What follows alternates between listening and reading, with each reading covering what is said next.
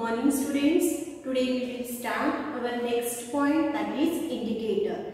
See yesterday we have discussed about the basis okay and how to identify and in, in that base is present some examples also we have discussed yesterday okay. So in acid mostly H plus ions are present and in basis OH minus ions are present okay. So now we'll see the next point that is a indicator.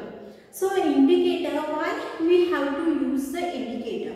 See, as you know that the ideable substances means those substances we can eat. Okay, so according to the test we can identify in this substance acid is present, acid it contain acid, another substance it contain base. For example, apple so apple you can say that because of the test you can say apple acid is present. Okay. So whatever the substance which are edible so with the help of test we can identify it. Okay. But some substances are there, some solutions are there that we cannot test it. Okay. So for that we have to use indicators. Okay. So with the help of indicators, we can identify whether the substance is acidic, basic or neutral.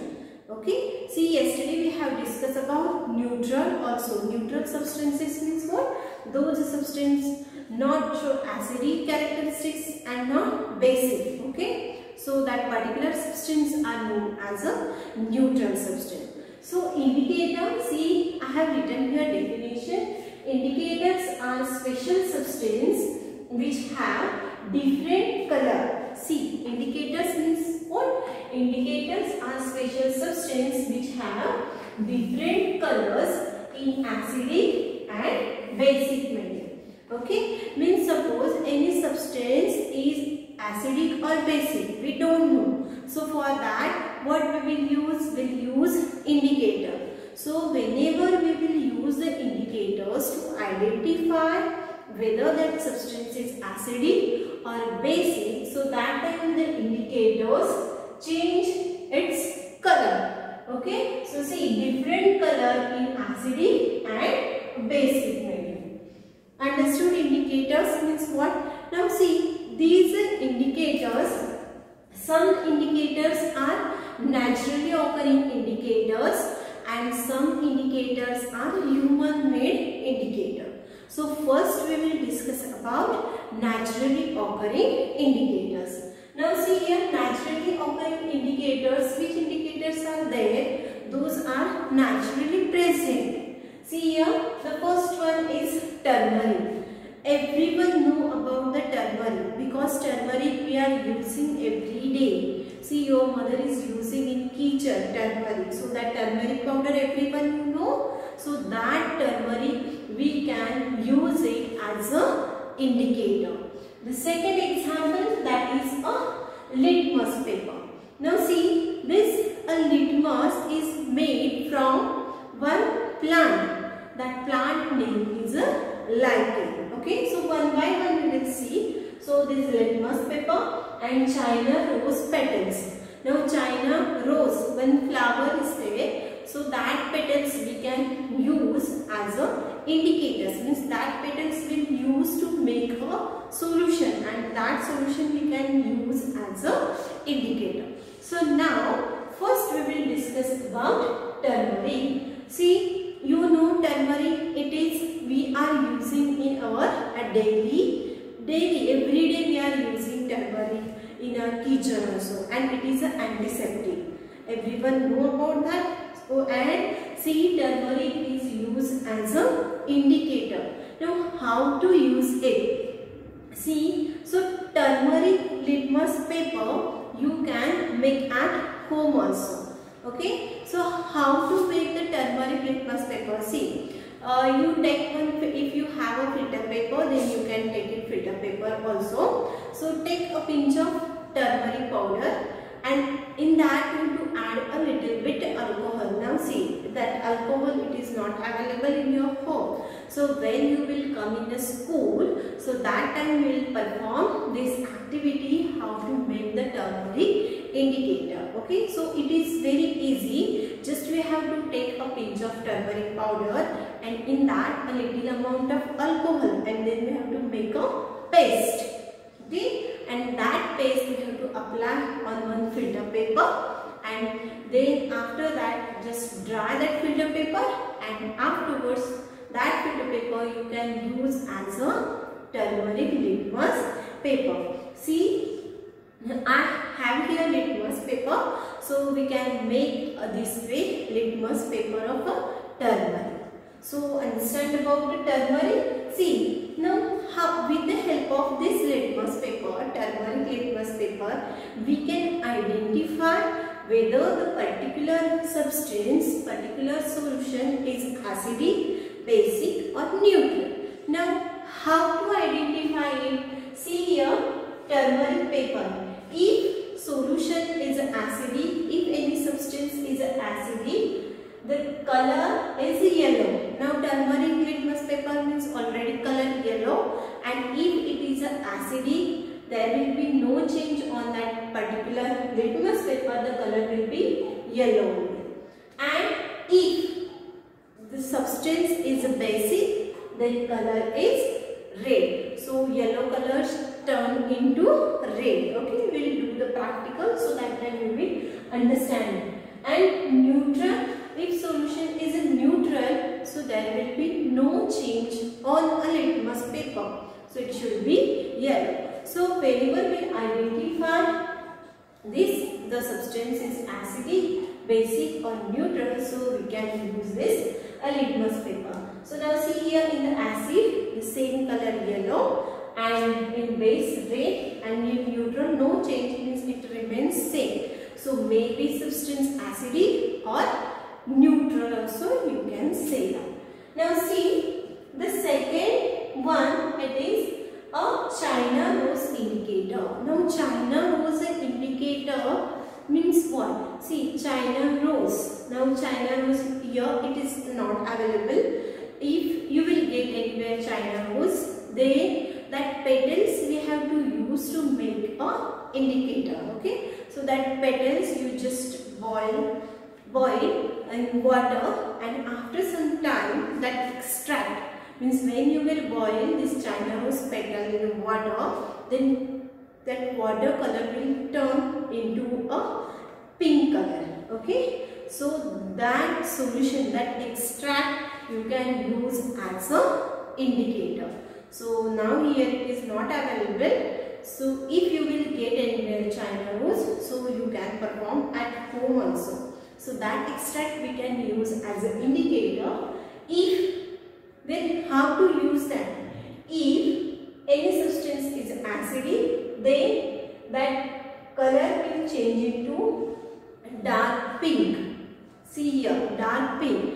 If any uh, solution is acidic, then that china rose, it, the color will change into dark pink. If substance is basic, it change into green and if it is neutral then there will be no change. If it is pink is there then it will remain same as a pink, light pink. But if solution is acidic, it turn into a dark pink and if solution is basic, it turn into a green. See here picture it is shown because China rose is not available here.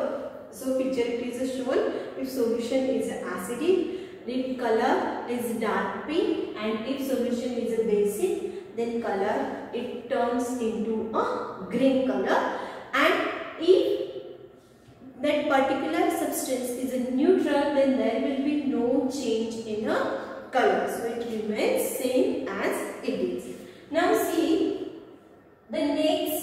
that is a litmus paper. See this litmus paper red and blue litmus paper. This litmus paper we can make we are make this by with the help of a lichen plant. Okay. So now how to use this litmus paper? See in a regular also we are using the litmus paper to a solution is any substance, any liquid is acidic, basic or a neutral. See here, and here it is, you can see this is a red litmus paper. Okay, see this is red litmus paper and in this blue litmus paper is there. These papers we can use to identify the substance is acidic, basic or neutral. Okay, now see red litmus paper. When we use the red litmus paper, if solution is acidic, it remains same red. If solution is basic, it will turn into blue and if it is neutral, then there will be no change on that particular litmus paper. Means that red litmus paper.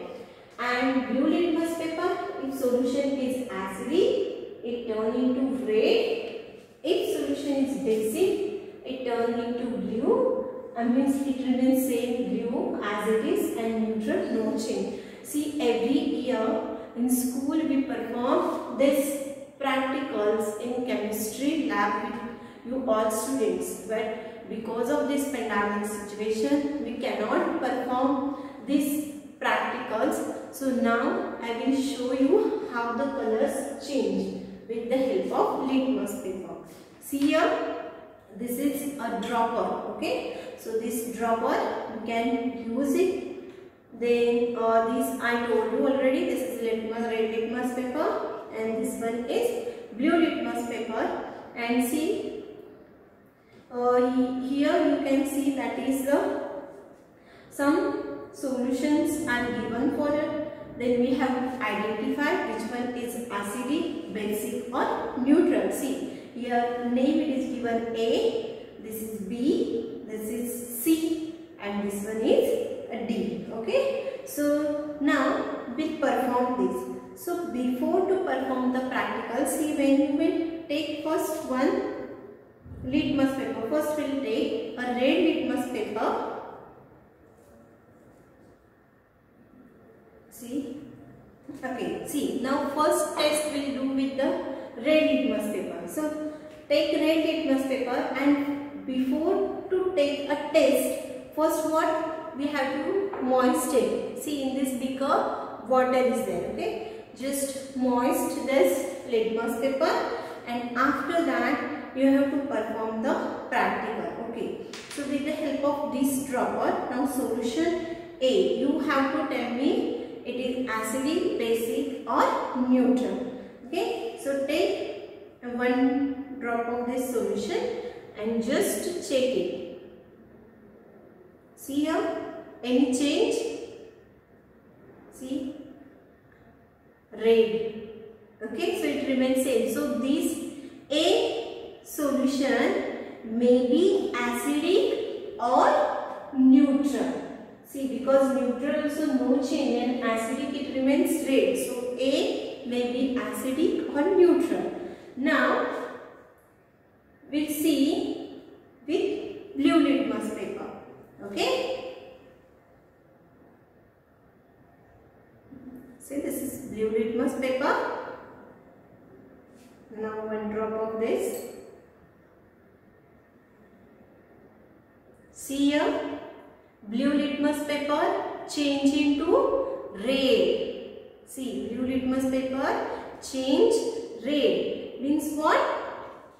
This A solution is acidic. See, blue turn into red. Means this A solution is acidic. Now here it is not neutral. If suppose this solution is neutral, then there will be no change on blue litmus paper also. But now see uh, in front of you only uh, see here this blue color change into red means this A solution is acidic in nature. Okay. So this A solution is acidic because here it is turned into red. Now we'll take one more that is with B solution we'll see. Again take red litmus paper just moist it. Now see one drop of B solution. See here. Now red change into blue. See, red changing to blue. Now we will take blue also.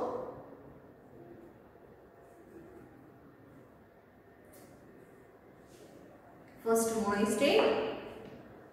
So we will take blue only. Blue is solution.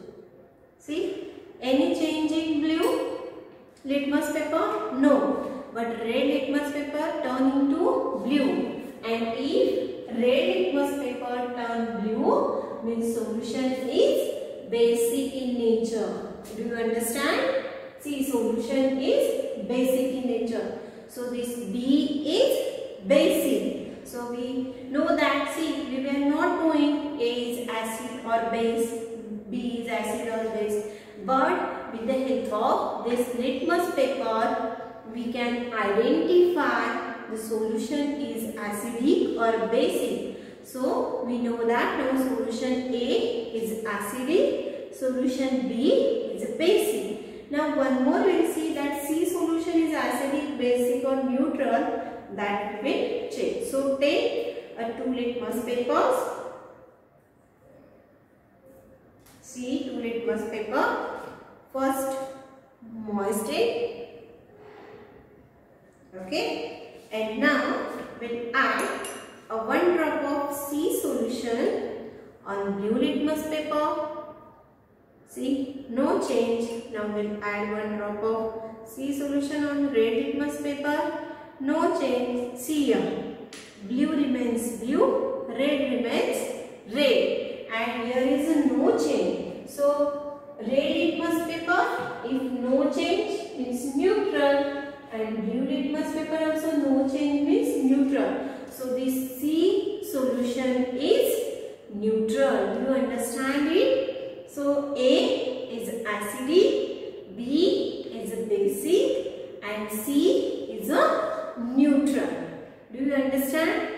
This with the help of this litmus paper we can identify whether the solutions are acidic, basic or neutral.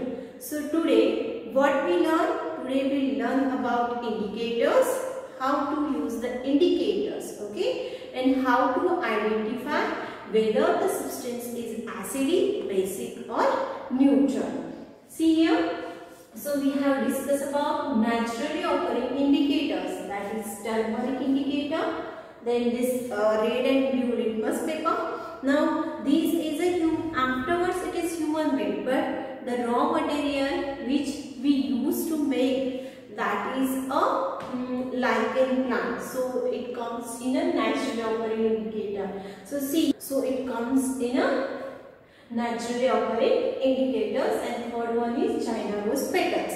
So China rose indicator is not available. So um, we not done that practical but this practically I show you maybe you have understand it. If you have any problem regarding any point you just contact to me. So tomorrow's period will be here. So now I will stop here. Thank you.